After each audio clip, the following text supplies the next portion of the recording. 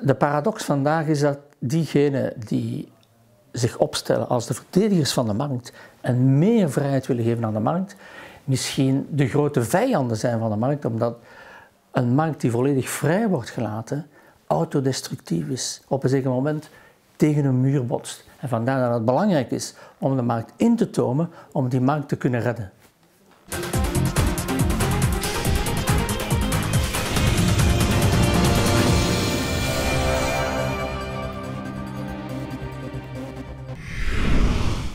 Wel, de markt heeft grenzen op twee niveaus. Eén heeft te maken natuurlijk met het feit, en dat is het best gekend, dat um, wanneer bedrijven produceren, ze geen rekening houden met de externe kosten die ze genereren. Het feit dat ze um, lucht vervuilen, water vervuilen. Ze doen daar geen kostencalculatie van. De kosten worden gewoon over de rest van de maatschappij verdeeld. En er is geen mechanisme in de markt om dat in te tonen. Met het gevolg dat wanneer de markt succes heeft in het ontwikkelen van nieuwe producties, het tegelijkertijd zijn eigen graf graaft, als het ware, omdat het tegelijkertijd het milieu verder zal belasten. En op een bepaald moment wordt dat onhoudbaar. En het is dus van groot belang dat daar een externe instantie is die daar limieten op legt. Belet dat de markt te veel van die externe kosten genereert.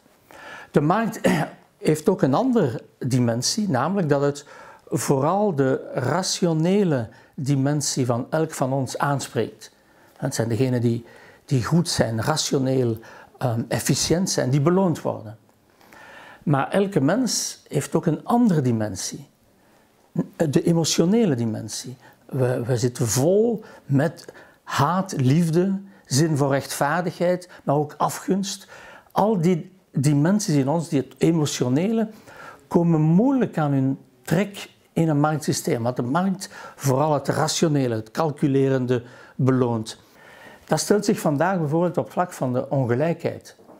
De markt die volledig vrijgelaten wordt, leidt tot grote ongelijkheid. En dat hebben we de laatste 30, 40 jaar gezien. Zeer sterke toename van ongelijkheid. Maar bij vele mensen zit ingebakken een zin voor rechtvaardigheid, fairness. En ze verwerpen zo'n systeem als het tot te grote ongelijkheid wordt. Ook hier moeten we de markt intomen. Beletten dat te grote ongelijkheid ontstaat, omdat als we dat niet doen, als het ware revolutie ontstaat. Mensen verwerpen een systeem dat niet fair is.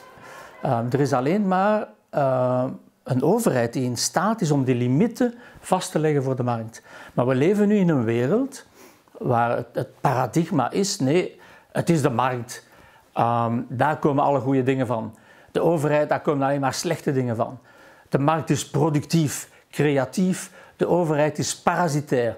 Dat is het paradigma van vandaag. Ik denk dat dat totaal verkeerd is. We hebben de twee nodig. De markt is essentieel om productie mogelijk te maken, ook om, om creatieve dingen mogelijk te maken.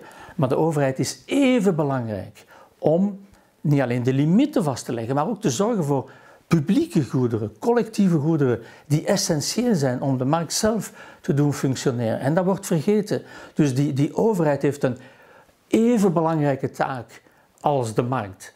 Uh, spijtig genoeg hebben we overal geprobeerd om die overheid als het ware in, in de hoek te duwen.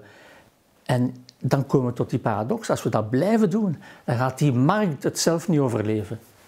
Maar het gaat hem over andere dimensies van de overheid. Bijvoorbeeld de regelgeving wat betreft het milieu. Dat moet denk ik verscherpt worden om te beletten dat de markt ons leidt in een situatie waarbij het milieu onleefbaar is geworden. Of waarbij zelfs de toekomst van de planeet op het spel staat.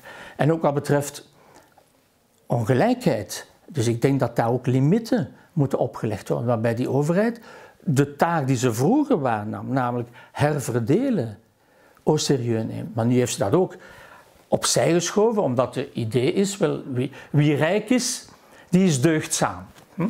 Ja, misschien. Um, maar te grote ongelijkheid, waarbij sommige mensen een zo groot deel van de koek naar zich toe halen, is denk ik niet alleen ethisch een probleem, maar ook politiek een probleem. Die mensen hebben veel te veel invloed. En we zien in een aantal landen waar het geld uiteindelijk de politiek bepaalt En daar moeten we ook paal en perk aan stellen.